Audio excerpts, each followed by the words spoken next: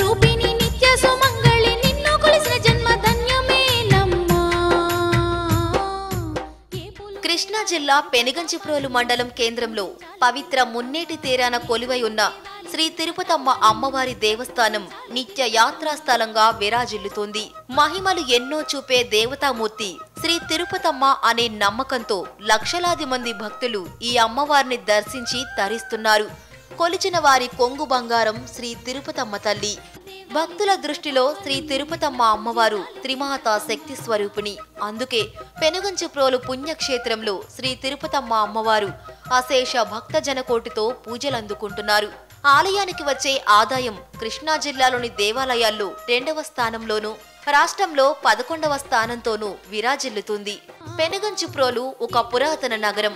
మున్నా నదిగా పిలువబడే మునేటి ఒడ్డున వెలసిల్లిన పవిత్ర క్షేత్రమే ఈ పెనుగంచుప్రోలు పదకొండవ శతాబ్దంలో గుడిమెట్టను పాలించిన చాగి వంశీయులకు చెందిన రెండవ రాజధానిగా పేరొందిన నగరమే ఈ పెనుగంచిప్రోలు వీరు రెండు శతాబ్దాల కాలం కాకతీయ రాజులకు విధేయులుగా ఉంటూనే స్వతంత్ర ప్రతిపత్త గల మాండలిక రాజ్యంగానే కొనసాగినట్టు చరిత్ర చెబుతోంది.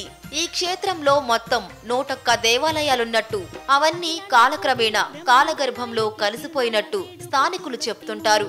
శ్రీ తిరుపతమ్మ అమ్మవారి క్షేత్ర ప్రయాణం ఆద్యంతం చారిత్రకమయం. పెనుకంచుప్రోలు ప్రాంతం అడుగడుగు అమ్మవారి మహిమాన్వితమై భక్తులకు ఆశీస్సులు ఇస్తూ కొండంత అండను చేకూరుస్తుంది. ఈ క్షేత్ర స్థల పురాణం ఎంతో విశిష్టమైనది. యాత్రికులను అమితంగా ఆకర్షిస్తున్న పెనుగంచిప్రోలును గతంలో పెదకంచిగా పిలిచేవారు.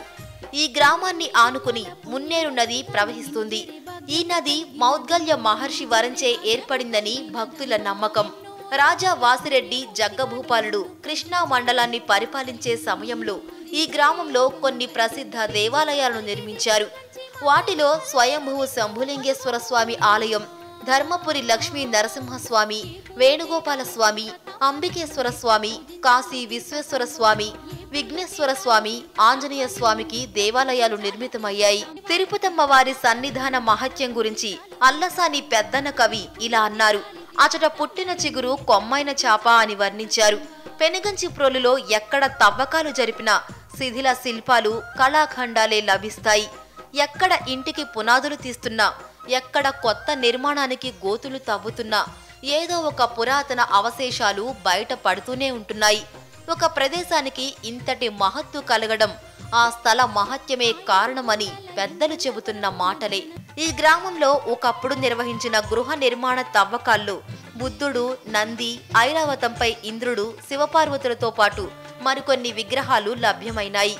దీంతో కొంతకాలం ఈ పెదకంచిప్రోలు కూడా బౌద్ధ క్షేత్రంగా విరాజిల్లిందని చరిత్రకారుల్లో అభిప్రాయమని భావన. చారిత్రక ఆధారాలను బట్టి శ్రీ తిరుపతమ్మ అమ్మవారి చరిత్ర దాదాపు పదిహేడవ శతాబ్ది నాటిదని తెలుస్తుంది. తిరుపతమ్మ వారు పదిహేడవ శతాబ్ది ఉత్తరాంధ్రకు చెందిన అనింగడ్డపాడు గోపినేనిపాడు గ్రామాల్లో కొల్లా శివరామయ్య రంగమాంబలకు లేకలేక సంతానం శ్రీ తిరుపతమ్మ.